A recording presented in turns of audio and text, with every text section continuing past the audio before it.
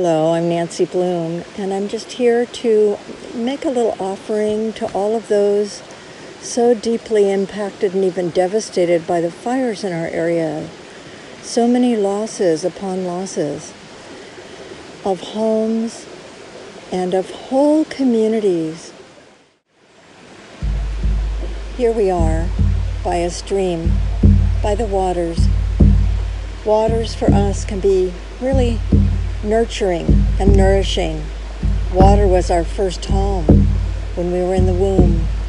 And the heartbeat that we heard in the womb is now echoed by this drum.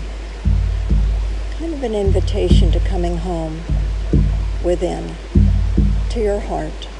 This heartbeat invites you to come home to your heart.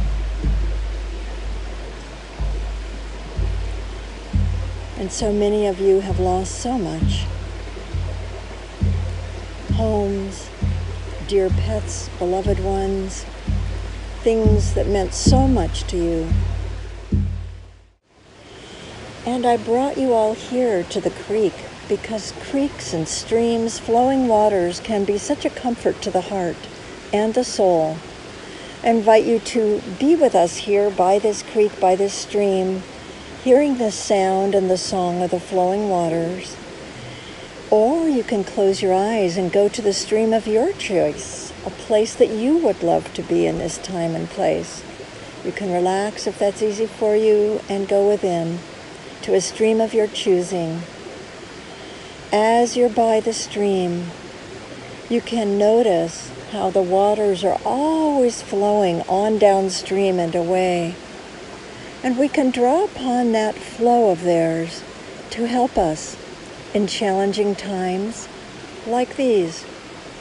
So I'd like to invite you now to, if you wish, rest by the stream most of all and receive that flow of the waters as a nurturance for you. And if you would like, you can, if you wish, see images of the recent times, just how they've been, and honor them, acknowledge them, acknowledging and taking in even into your heart the blessings of your life as you once knew it, and yet letting all of those things now go with those flowing waters on downstream and away, just for now at least, giving you a little breather you can also see and notice in the waters, if you wish, some of what's been happening in very recent times.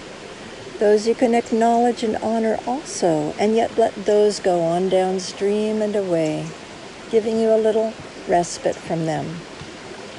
And now, if you wish, you can notice the incoming times reflected in the waters, the felt sense of them, what's coming up in your life, perhaps noticing any uncertainties and feelings that arise, certainly.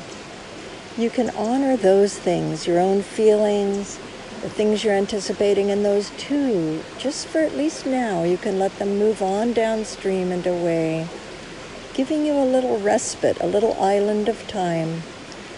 Now I'd like to invite you to just allow in the flowing waters that you would like to come in for you letting them reflect images and feelings of how you would like your life to be unfolding now, what you're seeking to call in to your being and your life, your relationships, places you wish to be, ways you would like it to be in this time of healing and restorative times.